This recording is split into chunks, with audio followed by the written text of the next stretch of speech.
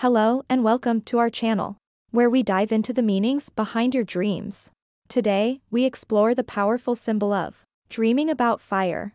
Fire in dreams can be both mesmerizing and terrifying. But what does it mean when you see fire in your dreams?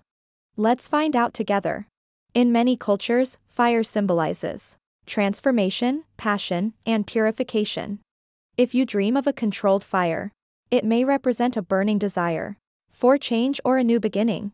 Dreaming of a roaring fire, on the other hand, can indicate intense emotions or uncontrollable forces. For some, fire in a dream might symbolize inner transformation or spiritual awakening. If you see yourself safely warming by a fire, it could reflect a sense of comfort and security in your life. However, if the fire is out of control, it may suggest that you are feeling overwhelmed by powerful emotions or situations.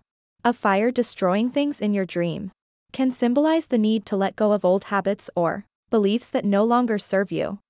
It could also represent anger and destruction.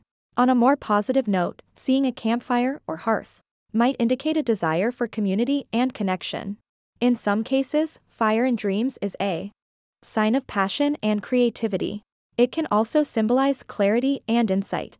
Dreaming of being burned by fire might reflect feelings of guilt or being overwhelmed by a situation. In conclusion, dreaming of fire is a powerful symbol with many interpretations. It's important to consider the context and your personal feelings within the dream. We hope this video has helped you understand the significance of fire in your dreams.